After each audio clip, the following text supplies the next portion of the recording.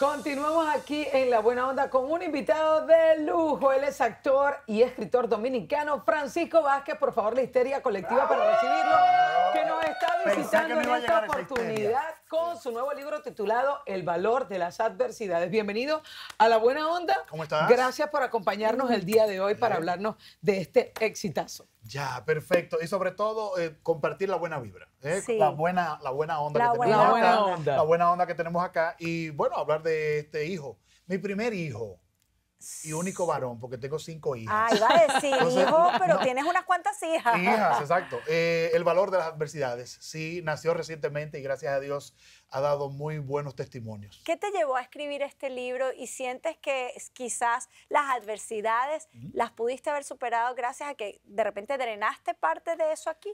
No, mira, eh, este libro nace eh, profesionalmente. A mí me gusta compartir con, con los estudiantes de la carrera de comunicación lo que se ha vivido en 20 años, 21 años de carrera. Que ustedes saben que una cosa es teoría y otra cosa es práctica. Y mucha gente llega después de estudiar comunicación y llega como medio perdido a esta realidad. Y yo lo hacía compartiendo todo lo que he vivido en lo profesional, no así en lo personal. Lo personal siempre me lo tuve bien como guardadito. Cosas que la gente conoce sobre mi hija que eh, tiene una condición de síndrome Down, el cáncer que sobrevivió mi esposa, pero hay otras cositas en el libro que yo las mantenía muy calladitas, que tiene que ver con lo, lo particular de familia ya eh, eh, de donde yo vengo. Entonces, en pandemia eh, hubo la oportunidad de da- dar algunas conferencias, charlas, y alguien me dice, pero eso que tú acabas de hablar ahora está escrito en algún sitio, la gente lo puede ver, puede aprender un poco de eso. Y yo, no, realmente no. Me dijeron, escribe un libro. Yo me reí primero, para ser sincero, chicas. Yo me reí digo, wow, eh, Francisco García Márquez, me voy a llamar ahora. Y me dice, no, es que necesariamente un libro no, no es aquella poesía, aquella literatura, aquel cuento. Tú puedes plasmar tu, tu, Tu tu aprendizaje ahí. Y así lo hice. Eh, cómo, cómo he vivido esos procesos de, de tener una hija ya con 21 años que es autosuficiente aún con su condición. Que ustedes vean a mi esposa ahí y, y que puedan ver lo feliz y plena que es aún habiendo pasado lo que, lo que pasó. Y, y las cosas particulares. Entonces yo digo, óyeme, todo eso me ha traído a ser el hombre que, el hombre que yo me siento hoy. Me Mira. siento pleno y realizado. A, a pesar de todas esas Yo risas... hablo, yo hablo mucho. No, no, tranquilo. No, no, no, no, no, el, que vino aquí a hablar fue, Yo hablo vos. mucho, ¿eh? No, tranquilo. Fíjate una cosa, yo, este, cuando tú hablas de eso, que al principio te dio risa porque la gente quería ver de alguna manera Sí, wow. documentado todo aquello que tú estabas contando, eh, siempre hay un trasfondo evidentemente emocional porque estás contando tu historia. ¿Cuál fue la parte más difícil de echar ese cuento? Mira, eh, sanar y plasmarlo en mi relación de familia, mis padres y yo. Yo vengo de padres divorciados, yo no recuerdo a mi papá en, en mi casa, tenía uno o dos años.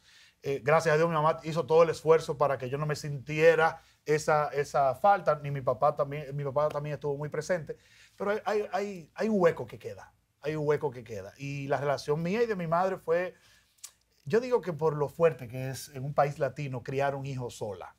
A veces se hace muy fuerte. Pero tu papá no estaba en tu casa o no estaba en tu vida. No, no estaba en mi casa. Ok. Pero el que no está en casa pierde mucho. Sí. O sea, Pierde mucha presencia. O sea, tú puedes hacer todo el esfuerzo de ser un padre en ausencia muy bueno. No digo que no.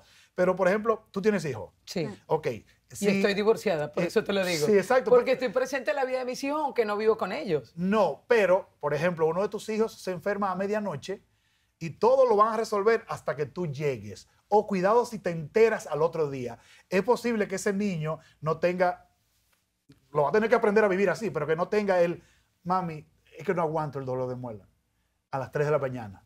Es, esa Eso es una verdad, por supuesto. Óyeme, sí. no te digo que no se puede hacer de la otra forma, se puede, porque hay gente que no es que no deba divorciarse, no debió casarse, pero en la realidad se pierde. Pero tú tienes que estar consciente de qué se pierde, porque si te pasas la vida entera rumiando como los- las vacas Mm. de, de- de ese dolor, ese dolor, no, tienes que reconocer que hay un lazo que lo pierdes. Y Pero también tienes que buscar solucionarlo. Lo hay, por eso digo, Por lo hay. es a lo que voy. Quizás aquí reflejas mucho de cómo superaste esos problemas y las herramientas para que otra persona que se siente identificada con algo de lo que va a leer pueda salir adelante. ¿Cuáles son algunas de las herramientas que tú ofreces, Francisco? Mira, primero, ante todo, anclar tus pasiones y sentimientos y proyectos a algo más valioso que tú hasta que tú encuentres tu valor. Muchos de nosotros no sabemos el valor real nuestro. No, no estoy hablando desde el ego, ¿eh? Estoy hablando desde lo que tú has logrado en la vida por esfuerzo. Mucha gente, muchos de estos muchachos conocen más del talento de ustedes que ustedes mismas. Porque uno está en pasión, uno está entregado. Entonces, en lo que tú encuentras ese valor real tuyo, ata tus pasiones y proyectos y tus problemas, adversidades, a un ser que tú valores. Por ejemplo, en mi caso, yo valoro a mis hijas inmensamente. Entonces, todo lo que yo tengo que enfrentar en la vida, sea un proyecto económico, sea un proyecto eh, eh, de servicio, sea una adversidad, por ellas, vamos, por Buscar ese verdadero Es decir, ponerle ese nombre, exactamente. Anclarte ahí. Anclarte a lo que para ti sea, este es mi motivo, para allá es donde yo voy por esto. Sí, porque hay días, que tú, hay días que tú mismo, por el desconocimiento de tu valor o de lo que eres capaz, vas a decir, ay, no, yo no aguanto más, ya, yo dejo esto. Ah, pero cuando dices, lo voy a hacer por Muchachos, no vuelvo al estudio, estoy harto o harta de esto, ya estoy cansado, soy un ser humano con problemas y no puedo venir aquí a estar de lindo riéndome.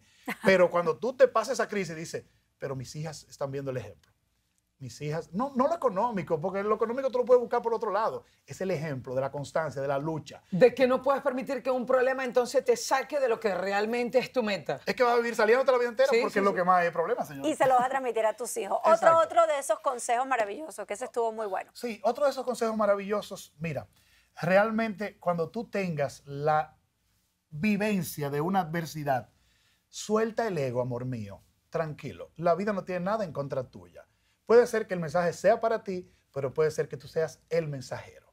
La vida, Dios, la energía, el sol, el sillón, lo que tú creas, tu fe donde esté puesta, entendió que tú eres lo suficientemente fuerte para vivir ese proceso y que otro aprenda.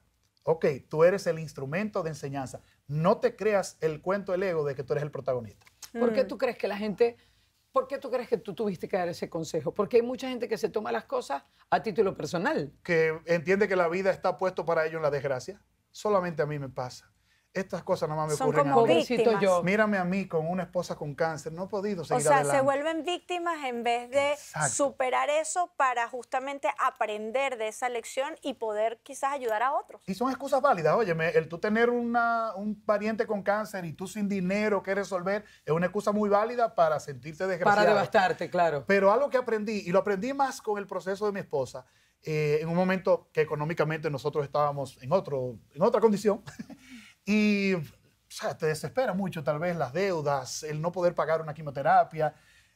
Pero algo yo aprendí, la vida no frena. Tus problemas están y, por ejemplo, en países como el nuestro, eh, si no pagas la luz te la cortan, si no pagas el agua te la cortan, si le debes al banco te llama, el banco, el banco, no tengo nada contra los bancos, te quiero decir las situaciones. Las situaciones no le importa que tu pariente tenga cáncer. Tienes que seguir adelante. Y algo que me motivó cuando me hablabas, eh, eh, Verónica, de la motivación, es que mucha gente a 21 años de carrera puede medir mi carrera como exitosa. Ok, por los logros. Y mucha gente no sabía que todo, mientras yo hacía una carrera que me ha llevado a ser una persona de algo de reconocimiento en mi país, no sabía que paralelamente ocurría eso. Pero yo creo que todos los seres humanos mostramos una cosa y una cara en nuestras oficinas, nosotros porque somos públicas, pero la gente que va a, sus, a sus trabajos muestra una cara y lo que está pasando en su hogar nadie lo sabe. Entonces, por eso tenemos que ser muy empáticos y solidarios con los demás, porque uno no sabe por qué una persona puede tener un mal día. Empatía y compasión. Sí, Creo que son dos dos cualidades. Estar allí atento para uno tampoco ser invasivo con la vida de los demás. Bueno, aquí tienen el valor. Ah, no, tú lo leíste el libro. El valor de las Dice eso, dice eso. ¿En serio? Sí, dice. Soy pitoniza. Mira, aquí está, el, el, el valor de las adversidades. tú lo modelas, modélalo, que siempre lo modelas. El valor, sí, a mí me Chicos, gusta. Chicos, modelando, Karen, por favor. A mí me encanta mostrar los libros. Este libro es muy especial. Ya Francisco les, les dio algunos de los tips que pueden conseguir aquí precisamente para salir de todas esas cosas que nos limitan a que salgamos adelante de quizás circunstancias que no han sido favorables en nuestras vidas, el valor de las adversidades, aquí lo tienen de Francisco Vázquez. Disponible en todas las plataformas que lo pueden comprar en la web. Y síganlo en sus redes sociales si quieren seguir en contacto con Francisco. Gracias por estar por aquí en La Buena Onda. ese es tuyo. Y está dedicado. Y el mío también. Nos vamos a la pausa, mi cara, y venimos con más de La Buena Onda.